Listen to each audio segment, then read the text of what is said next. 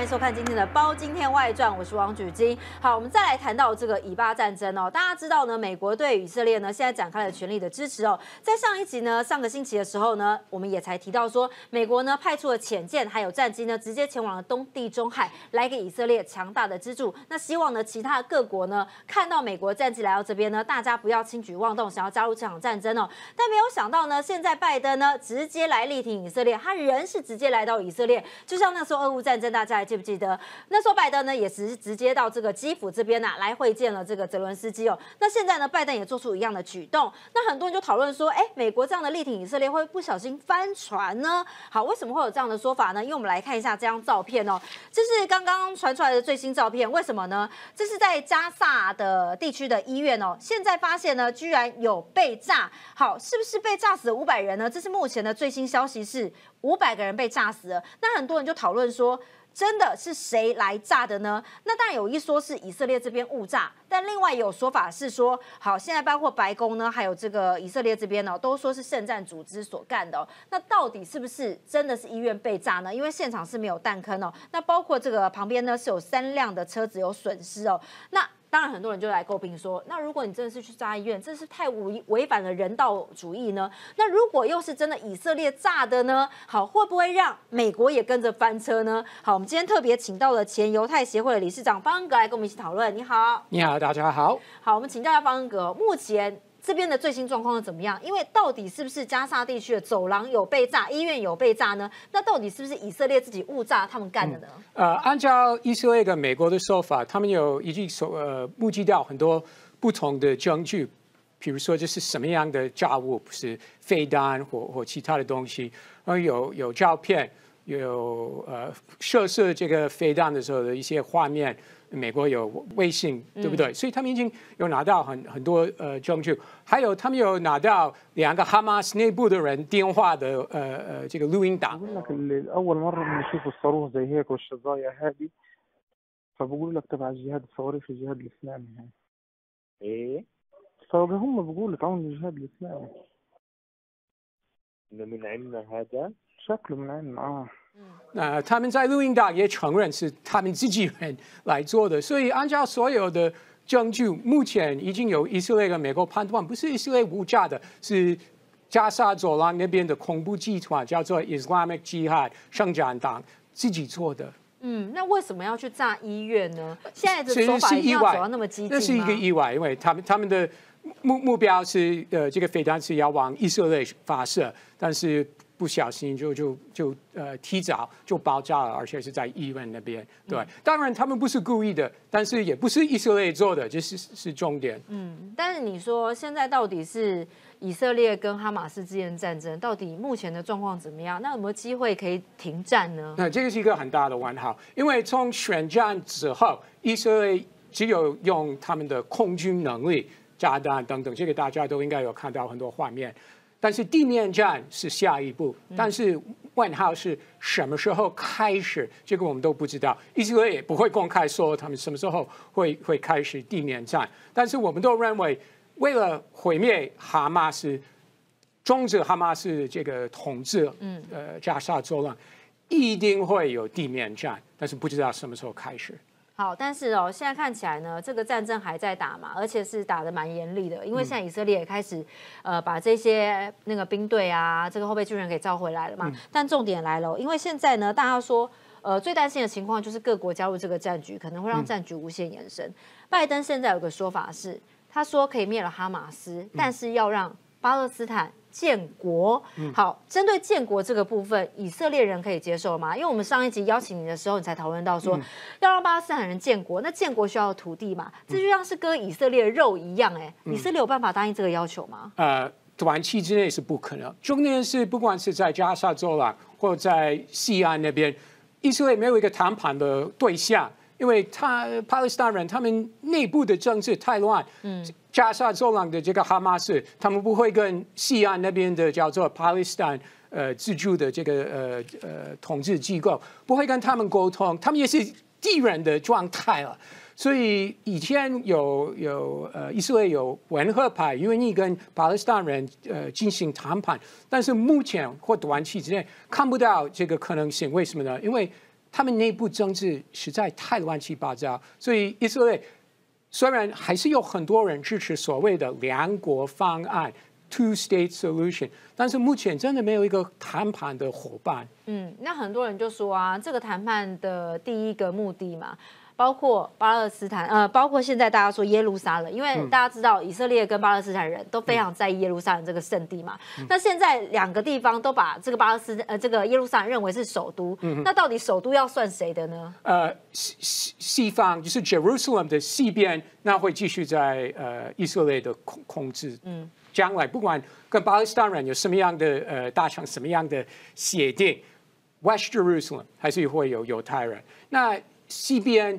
啊，对对，对不起，东边是巴勒斯坦人说，这是我们未来的首都，所以唯一解决的方法是什么？就会把东边的边界扩大。比如说今天是郊外，那以后会说哦，这已经纳入东边的东边东 Jerusalem 的土地，应该只有这个方法来解决。所以意思是说，把耶路撒冷扩大，是的，然后切一半，啊，这边算你的，啊，那边算我的，是的，啊，中间的交界呢？难道像德国一样有墙吗？这个不知道，不知道这个边界会画在哪里，这也是一个问号。啊，哭墙算谁的？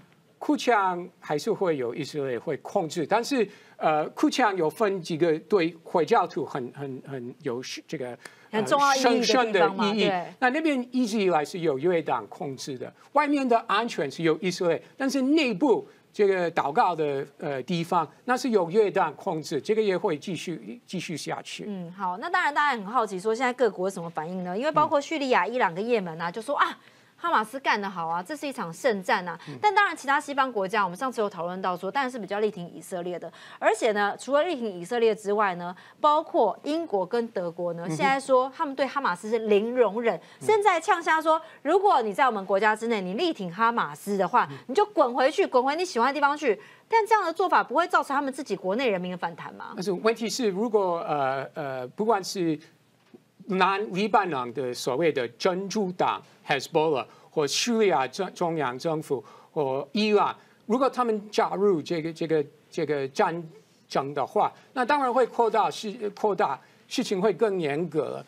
所以美国还有西西欧国家已经说得很清楚，而且是向伊朗说的清清楚楚，Don't do it。嗯，你你千万别呃交武器给呃。拿黎巴嫩这个呃真主党 Hezbollah 来开一个第二个战场，因为已经有第一个就是在呃加沙走廊已经是过了，已经有人受受呃受苦了这个巴勒斯坦人，所以他们已经进到伊朗，你不要用武器到真主党开一个第二个呃战场，这个真的是呃带来一个区域性的一个灾难。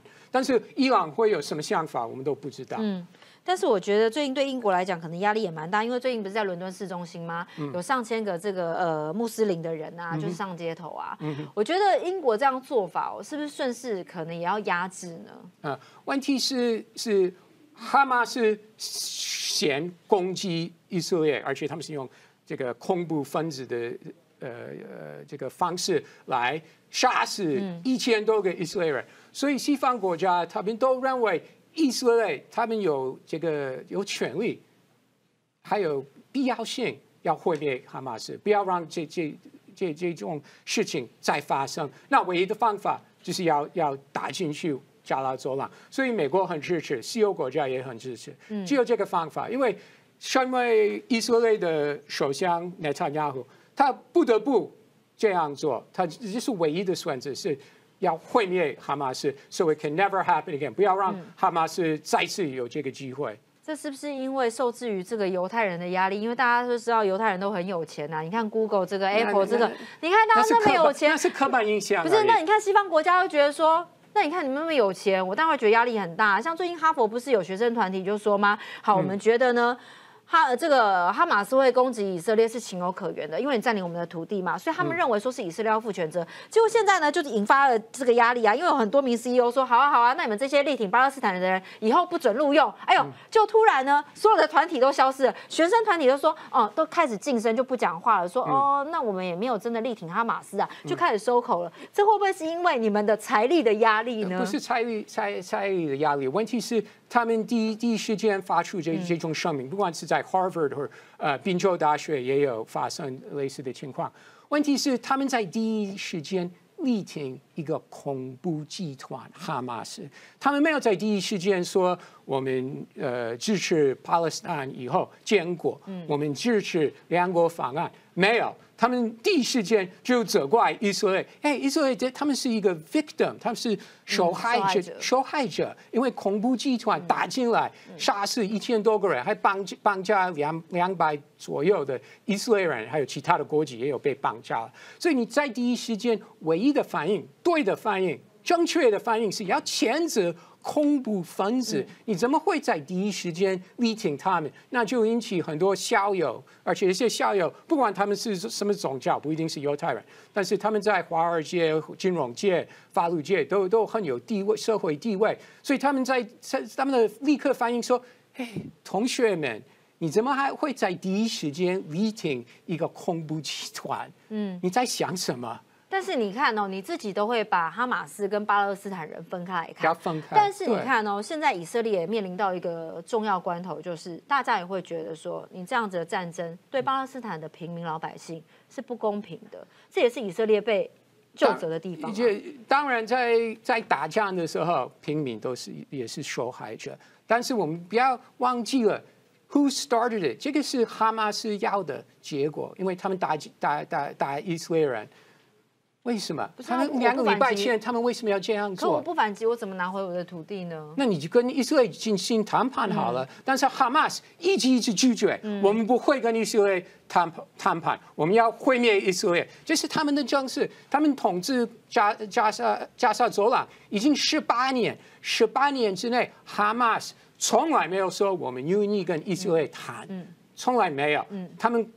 一路以来的政策是，我们要毁灭犹太人，我们要毁灭以色列，那就带来一个灾难给他们自己人了。但我也觉得很好奇哦，你看哦，英国、德国，他之前没有说把俄罗斯人赶出去啊，他现在为什么要说要把力挺哈马斯的人直接赶出去呢？呃，他们第一是我觉得西欧国家他们的反应是跟美国一样，他们认为以色列有有权利来解决哈马斯这个问题。我们要记得，在从九一一之后，这个所谓的 War on Terror，不只有美国在伊拉克或阿富汗打，法国、德国、西欧国家，他们也是在这个空 War on Terror 这个空呃恐怖主义、恐怖恐怖主义这个呃战场，他们也是受害者，因为这些伊斯伊斯兰的恐怖集团也有在法国、英国、德国都有进行。活动，他们也是受害者，他们也是受害者，所以他们理解以色列的态度是 no more，我们不能再再冒这个险。哈马斯，你已经控统治加沙走廊十八年，你还进行这个恐怖的动作那 n o more，我们要进行。毁灭你们。嗯，但我们知道呢，这个会不会在这场战争之后啊，巴勒斯坦人的土地来的更少？因为我们来看一下这张地图哦，最近呢，就是巴呃以色列呢说要疏散加沙走廊北边的民众。那为什么独独疏散北边呢？现在就让大家猜说，那难道以色列接着还要占领加沙走廊的北？这这个是一个 good question，因为真的是问的非常好，因为我们目前都不知道，我们不知道以色列什么时候会开地面战，就是这我们不知道。第二。地面战之后，因为我们都会认为，不管打多久，一个月、半年，我们都不知道最后的结果是会毁灭哈马斯。那你毁灭哈马斯之后呢？谁会统治加加沙走廊全部？不管是北北边或南边，以色列会不会再来统治？目前好像以色列没有这个意愿，他们不想再统治加沙走廊。那问题来了，你离开之后，以色列军方离开。走加沙走廊之后，谁会来通知呢？是不是西安那个那个呃呃呃巴勒斯坦权力呃机关，或者交给联合国或其他人？我们目前都不知道。所以目前还没有最新的回应说这一块的地方可能生出来的会是谁来统治吗？但是中，我觉得重点是以色列没有意愿自己统治。哦，所以你是说以色列可能是为了维持目前的现状而已？但重点来啦，之前我们不是讲说这个巴勒斯坦人嘛，穷到快被鬼抓走了，照来讲应该是没有任何武器才对哦。那因为都靠各国资助嘛，但后来发现不是哦，他们说哈马斯呢很有钱，甚至呢还说是恐怖组织，全球恐怖组织十大之一，数一数二有钱的，这有多有钱嘛？我也蛮意外。他们说哦，光是他们会有一些可能捐赠嘛，其他国家的资助者呢，每年可以筹到三百二。十二亿。好，伊朗呢每年都让加萨提供了援助超过一亿美金，同时提供给哈马斯还有伊斯兰的圣战组织。那哈马斯这边也是香烟、燃油、建材的一些货物的一些征税啊，每个月可以来到一千五百块美金等等。好，光这一些钱呢，看起来就够有钱了。重点来了，钱从哪里来？物资哪里来？嗯，哈马斯真的很有钱吗？那听说还有一条神秘地道。对，有神秘地道。那另外，其实很多人说。被啊加加沙走廊被埃及跟以色列百分之百封锁，其实不是，这这是这个说法是不正确的，因为不管是埃及或以色列，他们还是还是会让物资进去加沙，当然他们会做检查，他们要确认里面没有秘密状武器之之类的检查安全检查，但是。加沙走廊过去不是百分之百封锁了，所以还是会有物资进去。那你刚刚说的哈马斯他们可以征税了，所以他们是依赖呃这个征税，或他们其实有很多指控，他们在南美洲、欧洲也是做一些不合法的，不管是走私呃毒品。盐盐盐之类的东西，所以他们还是有他们收入的来源。所以他们是真的很有钱吗？因为他们真的很有钱。外界的想象是非常非常的穷困。那他们除了走私这些不法的商品之外，钱还从哪里来？他他们真的很有钱。还有我要补充说明一件很重要的事情，其实不管是在西安或在加加沙走廊，这个一般的人一般人的这个学历。也很高了，他们那边有很多大学，学历很高，学历很高，所以你说啊，他们没有什么物质，怎么可会弄这些 explosive 飞弹等等？嗯，其实他们非常聪明啊，他们有很多工程师，所以不管是工程师或财务等等，他们都很了解，他们真的很很很很聪明，有很多有高学历，念大学，念呃硕士等等，所以怎么怎么做武器或怎么赚钱，他们这方这两个方面，他们还是非常厉害。嗯。好，但是我们来看一下哦，最近这张地图出来了，大家也觉得很有趣哦。好，这个是加沙走廊的地图，那在红色边边的地方呢，是以色列现在公告的缓冲区。嗯但重点来了，有没有发现，在埃及这边呢，却没有画红线，这是什么意思呢？因为现在传言哦，很多地道呢，就是从埃及这边铺过来的，来到了加萨走廊里面。那么传出加萨走廊这边的地道呢，总共有几条呢？说有两千五百多条吗？真的是有那么多的情况吗？呃，的确是有的。那偶尔是用，就是用用在走私，那偶尔也是用在做呃进行恐怖的呃攻击了。所以这个呃，在过去十年多，以色列他们要想一个办法，组织哈马斯所所谓的 Islamic Jihad 从加沙走廊进去，用用这个地道进去以色列。但是不管他们花多少钱、多少资源，在在取缔这些呃地道，不能百分之百组织他们。对，你有对这个地道有所研究吗？呃，没有做什么特别的研究，但是我们都知道他们会用来走私或呃进行恐怖的呃攻击。嗯，因为大家知道呢，这个他们说的隧道哦有五百公里长。那以台湾来讲哦，目前查资料是国道三号，再加上细子五股的高架道路，再加上国道五号。加起来哦，你要看看啊，一圈一圈加起来才是这个五百公里，才能凑出这个五百公里哦。好，这是我目前看到这个幽暗地道的画面。那很多人就会拿它跟那个时候俄乌之战的这个亚速钢铁厂来做比较嘛？为什么这样的地道会造成打仗的困难度呢？因为你的敌人可以呃可以消失了在这些地道，所以打仗的时候以色列要非常小心，因为他们一。先他们是用这个空军的方式，接下来会有地面战，但是用地面战不知道下面在干嘛，所以这个很这个呃是以色列开地面战的一个难度，因为你刚刚说有几千个地道，而且有一些地道是非常长，进去埃及或进去以色列的这些地道，所以地面战的时候，所以我刚说了，地面战可能不只有一个月，可能要长时间打这个地面道。呃，地面站，这个地面站，这个地道的入口藏在哪里啊？呃，当然是在加沙走廊。对，那不管是或者是往埃及那个方向，或者往往以色列这个方向。对。但是入口都在加沙走廊里面。嗯，因为看起来好像是藏在那种学校里面，或者是可能坟墓旁边吗？这个是呃，很多人牵着以色列，为什么以色列进行空空军任务的时候会加加灭到这些学校、其他的公共设施？因为入口真的是在那边，这是哈马斯的说法。嗯，对。好，但是因为你看哦，我们觉得比较有趣的是呢，在这个边境呢，就有这样的移动式的钢楼。那大家说这是移动式的杀手，为什么？因为它就像是一个防守塔，这边可以往上往下。所以以这个陆地上来讲啊，你看它有战车，还有起重机，这些防守是相当的防备的。这个东西的用意是在做什么呢？呃，那个时候以色列认为，如果用科技的方式来观察。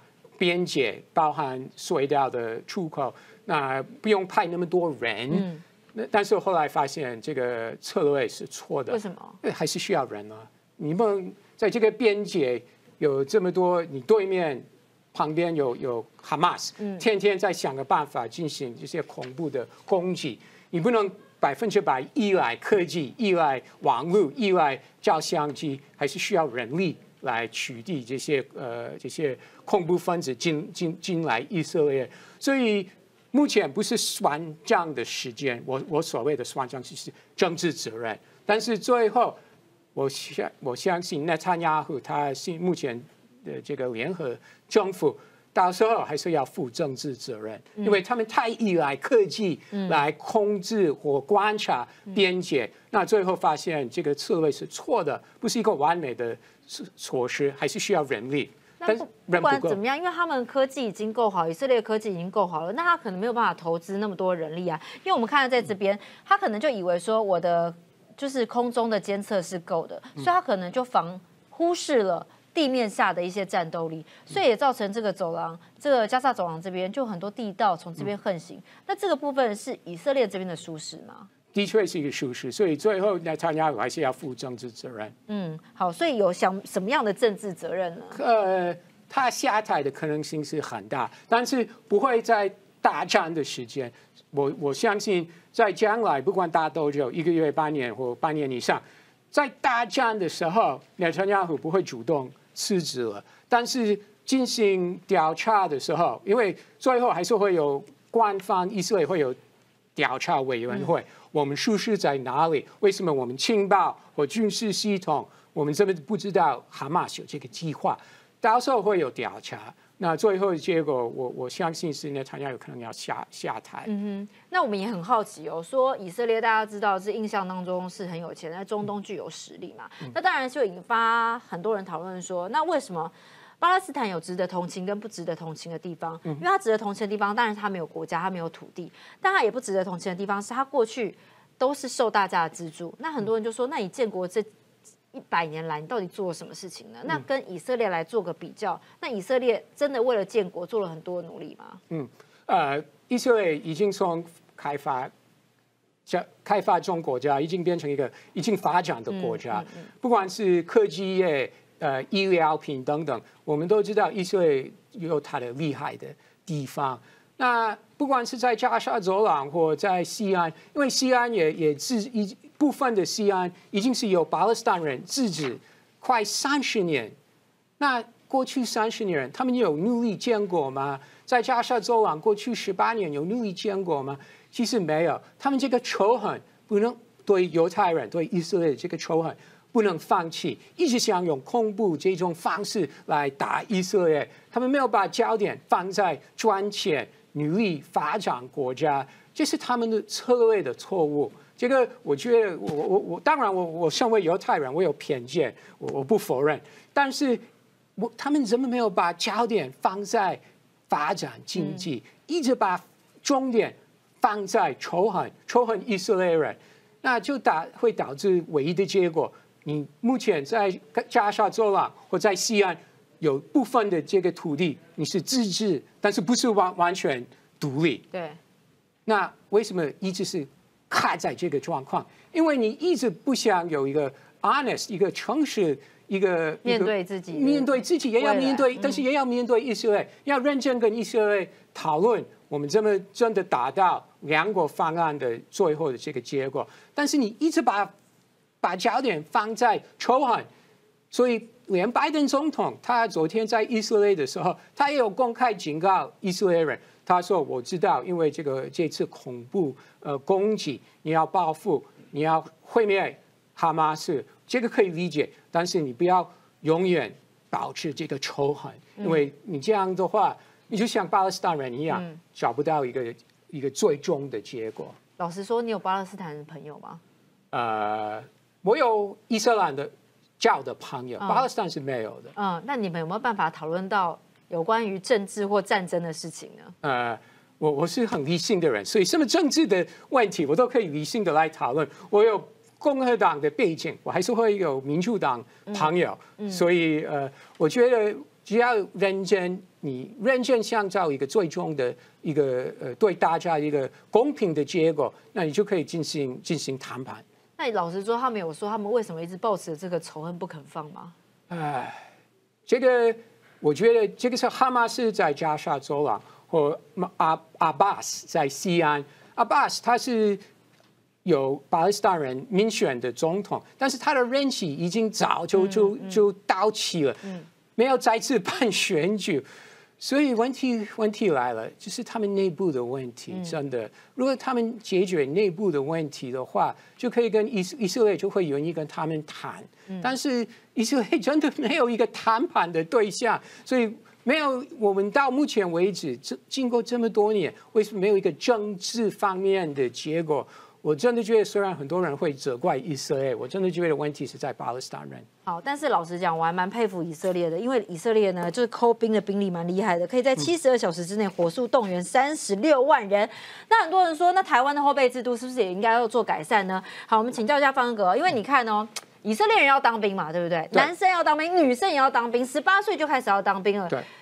以色列当兵很苦吗？他们当兵任期要多久呢？呃，男生是三十二个月，女生是二十四个月。所以男生是两年八个月，女生是两年的时间。没错，这么长的时候有薪水吗？或者是？呃，有一点点的薪水，但是有这个是一个思维的问题，思维逻辑。以色列人他们知道，他们是为了国家就要呃入伍，要服役这么长时间，他们觉得这是义务，也是一种光荣。这个跟很多台湾朋友是不不 不同不同的想法。你是说吃不了苦吗？你的意思是这样子吗？就就是知道我要做，我不会抱怨，不会抱怨是时间太长或我没有学到很实质的东西。其实为什么以色列科技业这么发达、这么有名？是因为很多人入伍的时间，他们是会碰到科技方面的东西，会学习到很多跟科技有关的东西，所以他们呃退伍之后。去年大学大学毕业之后，会有机会呃在科技业继续发展，所以这个就是看这个这个机构的不同的，在以色列他们觉得军事系统是我们值得值得骄傲，对，我们要为他们服务等等。有些人不像台湾，台湾很多人看就是看不起军方。哦，所以。可是我觉得比较纳闷的是，因为以色列的男性啊，你看要到四十五岁才除役，女性要到三十六岁才除役哦。因为你们当兵的时间点是在十八岁，为什么呢？因为十八岁很多人说才高中毕业，以台湾来讲，那以台湾来当兵的话，很多人是大学毕业之后我们才进去的。你会觉得这就是有种差别？其实呃，不不只有以色列十八岁要当兵，新加坡也是十八岁。南韩也是十八岁，所以都是在高中毕业就先入入伍当兵哦。这样的话，他们先服役完，再去念大学，他们的生涯不会被中断。嗯，所以在台湾，我我我我虽然我我是局外人，但是如果你先念大学，再再来念研究所，念完研究所再去当兵，那你的发展生涯规划会。中间会被中断，嗯，所以在很多国家，他们为了避免生涯被中断，十八岁高中毕业先去当兵。嗯，但我比较好奇的是，因为是不是十八岁比较年轻，比较耐操哦，所以真的在以色列当兵，很多人说是蛮严格的吗？还是他训练内容是很精实的？是很很严格，为什么呢？我们不用讨论过去两个礼拜，以以色列正式宣布我们要我们已经是在打仗的情况。以色列一直以来，不管是在北部跟 Lebanon 的恐怖集团，或在 Syria 呃叙利亚的边境，一直一直在打仗的状态中。不管你是在陆军，我说以色列的陆军、空军、海军，一直以来都是。这个紧急的状态，所以你一入入伍的时候，你就已经是纳入这种情况。所以当然，不管是训练或日常在入伍的时候，在当兵的时候的工作是什么，几乎都是在打仗的。状况之下，所以一一一定是很严格了。所以意思是说，你们在这个当兵的时候，你们就已经把这个备战的观念植入脑海里了嘛？对。那他的训练项目是什么啊？呃，这个要看是哪一哪一个单位啊，不管不管是陆军、空军、海军，都是冲年的，而且他们这个也是跟台湾很大的不一样。一说跟美国的这个联合演习，这个这个 cooperation 这个关呃。合作的对合作的联合军演非常密切，所以以色列会有有很多机会跟其他的呃国家的呃军队有有这个联合演习。台湾是比较其实几乎是没有对，所以他们文化就是你自己独立的文化。我说台湾，那以色列可以。从他的伙安全伙伴也可以学习到很多东西。好，但我比较好奇的是哦，因为在以色列呢，他有义务兵役跟预备役嘛，预备役就是在旁边 stand by，如果有需要你的话，再号召你上战场嘛。那包括呢，他们的职业军人是两万人，指挥十六万的现役军人，但是他们可以在三天之内叫到六十万人一起来当兵哦。那你看以地理地区来分，分为北中南三个司令部。那预备役呢，军人大概是五十万人，大家也很好奇说。那为什么呢？以色列人这么样的听话，像叫你来上战场，你就可以直接来上战场，是大家爱国观念是非常充足的。对，真的是因为爱国，所以呃，哈马斯进行这个恐怖攻击之后，以色列开始教会后备后备军人，很多人是在国外，在以色列的国外，不管他们在台湾或在呃欧洲、美国，他们就马上。就立刻订机票回去，而且有很多人说：“哦，我没有机票的钱。”就有非政府机构在短短几天之内出来说：“我们会付你的机票钱。”所以不管是在美国或西欧、亚洲地区，只要是年只要是年轻的这些以色列人要回去当兵，有人会帮他们订付机票。嗯，对，这真的是因为他们爱国的这个概念非常非常深。好，所以大家也说呢，这个爱国概念要植入脑海里哦，你要有备战的意识嘛。但最近非常红的这个国民党立委马文君呢，好就拿到一个资料说，呃，国军特战化的体训内容曝光了，里面呢包括要带着武装跑步三千公尺，等于三公里啦，还有十公里的长跑训练。然后呢，马文君说这是国军特战化吗？这么样的严苛等等之类的。好，我来让大家看一下我的照片。这也是我那时候跑十公里的照片呢，哎，我还拿到奖牌玩完赛耶！十公里很难吗？带着装备跑三公里很难吗？好，像方哥，现在叫你跑十公里，你应该办得到吧？呃，应该我还是经常去健身房跑步，是对，所以应该可以啊。所以你看，连王妈妈都办得到的事情，有很难吗？我觉得就像方哥哥讲的哦，你看王妈妈都办得到，我可以跑十公里，那为什么这个叫做特战化的训练内容曝光呢？包括现在大家也说。哎呀，是不是国军训练太过严苛啦？呃，从这个一年呐，呃，兵役要一年呐，还是四个月啊？还是做四个月就好了，不要做一年？为什么要做那么长呢？除了可能给中国那边带来的压力之外，他们也觉得这时间太长了。但真的是如此吗？如果以你们来讲的话，哎。三十二个月，两年八个月的时间呢？为什么以色列人不会跟该教说这很长？呃，他们觉得是第一是为了国家，第二是我刚刚说的，他们知道他们在呃当兵的时候会学习到很多有用的东西，不管他们在里面做什么，不管是科技方面或当一个领导者 （leadership skills），所以很多人入伍的时候他们会学到 leadership skills，leadership 这个呃能力。嗯，所以在职业的战场，在工作场所，这也也是很多雇主需要的一些特质。所以，这个不管是以色列和新加坡、南海，你要去找工作的时候，通常雇主也会问你：你在当兵的时候有做什么？那以色列人、新加坡人、南韩人，他们都很骄傲的说：“哦，我在当兵的时候，我有做什么？我有学习到什么？我是派到什么样的单位？”但是好像台湾这个概念完全是没有的，他们都会觉得这个是啊，这个是有点浪费时间，因为当兵的时候不会学习学习到很很实质的东西，所以这个。呃，台湾真的要有改善的地方。嗯，所以你看哦，最近很多人在讨论说，是不是这个预备役啊，不是，是不是这个正常的主力战队？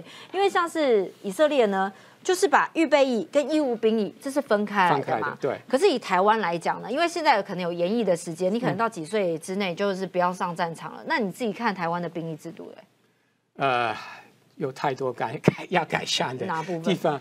呃，第一是我我真的觉得。那个 feeling，所以我们今天有讨论到以色列人，他们十八岁要去当兵，也没有抱怨，他们他们愿意在发生这这次哈马斯的恐恐怖攻击的时候被教会，也没有抱怨，不管他们在国外或国内，他们就立刻会报报报道。嗯，这个是一个概念，所以我真的觉得台湾军方这个内部的这个文化是先要解决。那其他的，比如说训练要做什么？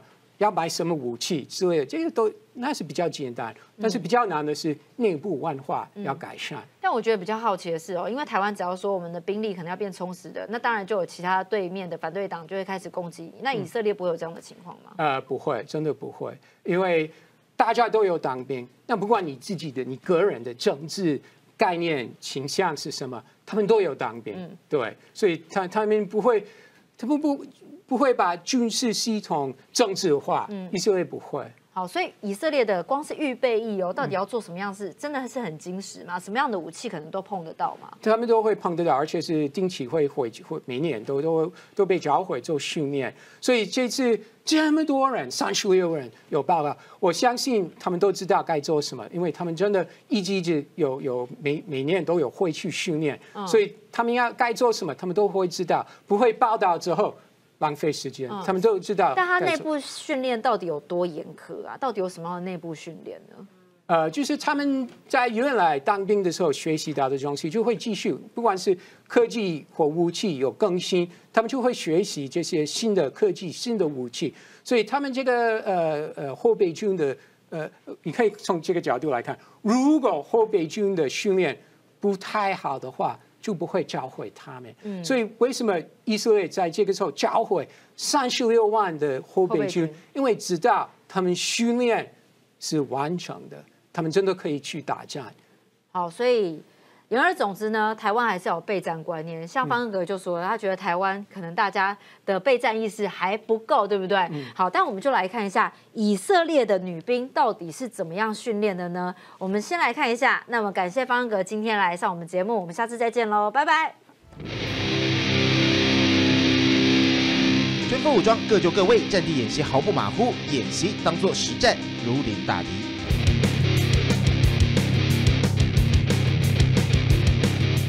色列特有的狞猫部队，男女兵混合组成，女兵占了超过六成，却是强大的沙漠劲旅。取名狞猫就是看上它的特性。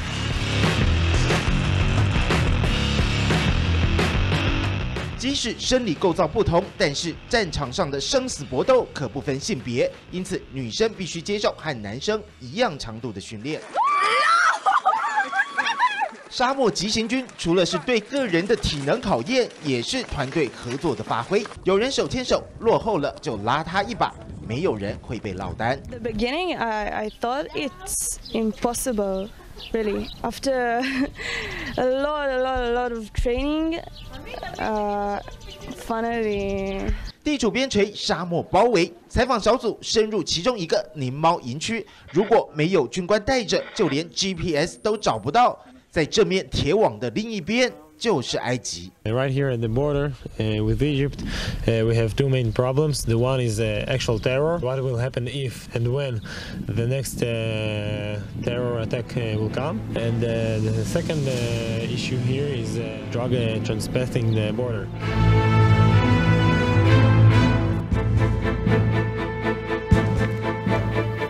走上边坡围墙，安全哨上紧盯边界，是每天的例行公事。年仅二十岁的这一位宁猫成员，自愿加入战斗营队，超过体力负荷的训练从没少过。They obviously afraid. My mom. Um, I'm not telling her everything. She doesn't know I'm that close to the border. They're very happy that I'm that I'm happy that I feel like I'm doing important things in the army. 虽然训练严谨，但营区生活则是给了许多空间。像是手机，就不像台湾部队有特别管制，全靠士兵自律。我们还获准进到他们的寝室。